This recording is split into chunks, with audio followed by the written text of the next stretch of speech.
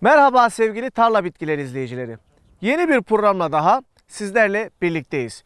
Bugün Aksaray'ımızda fi yetiştiriciliği hakkında merak edilenleri sizler için değerlendireceğiz.